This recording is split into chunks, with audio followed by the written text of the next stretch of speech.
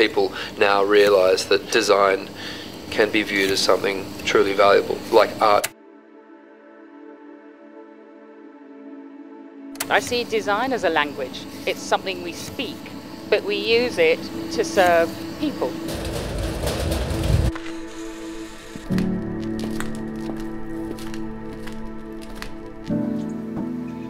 You know, we make decisions that directly affect nature, our nature.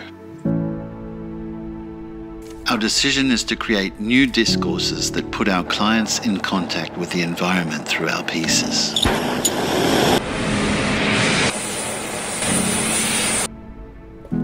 Time. Time to think, to test, time to design.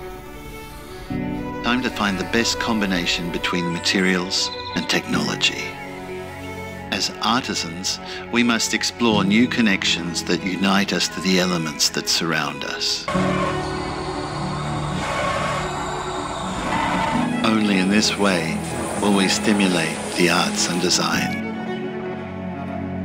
This is our responsibility, and this is the only way we can express the nature of our artists.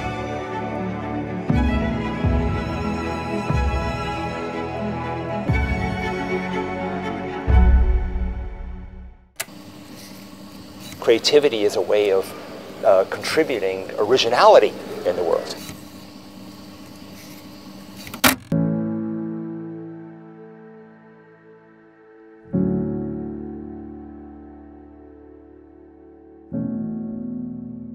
What about light?